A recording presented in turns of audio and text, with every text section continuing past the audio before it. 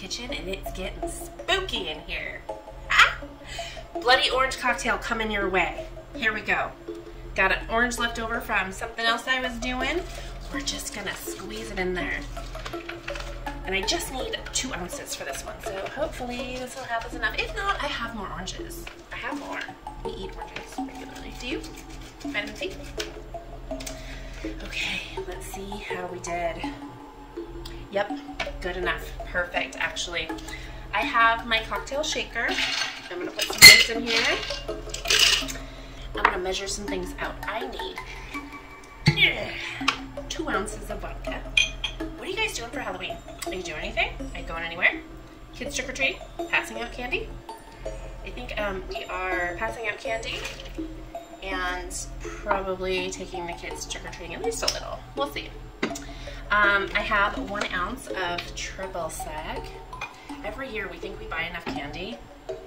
I think last year we went through two bags of 100 count. Yeah. Um, that was one ounce of triple sec, but we're gonna do two ounces of fresh orange juice. I've said it before, I'm gonna say it again. Whenever you can use a fresh juice ingredient, please do. Um, I have some pomegranate juice.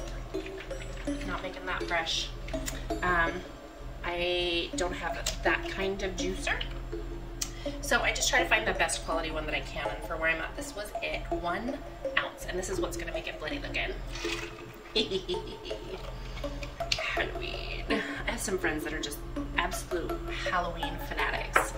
Um, decorate their inside the house, the giant, like, what is it, like 12 foot skeleton or something? I don't remember, but it's pretty amazing. The next thing I'm gonna do, I have some sanding sugar on this plate. I'm gonna put the lid on this because we wanna prep our glass next. This is my house-made simple syrup, and I'm just gonna pour enough in there to rim my glass.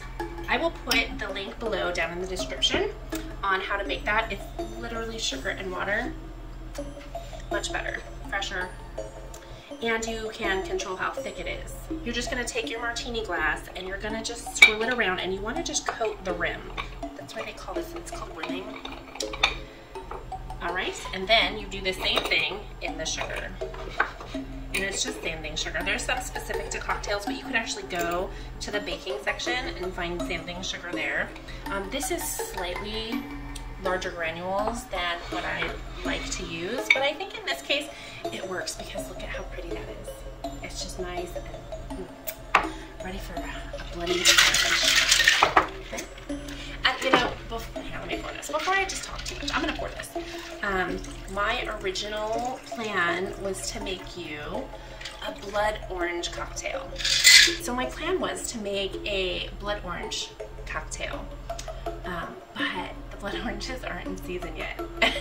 so um, I decided, you know what, I'm gonna make the orange juice with the oranges and then I'll do the pomegranate and that'll give it the red color. So here we are, that's how I came up with this.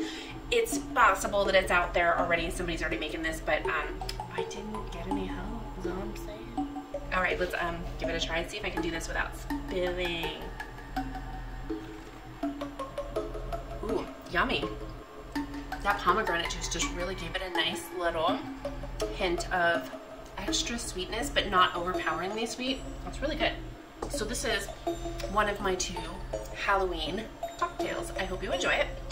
Go get yourself some sanding sugar. Um, make your simple syrup if you can. It's it's really easy. Um, and squeeze your juices if you can. These little these little juicers, I think I said it last time I made um, something with orange juice. Like it's less than 10 bucks and it does such a good job getting the juice and the pulp out.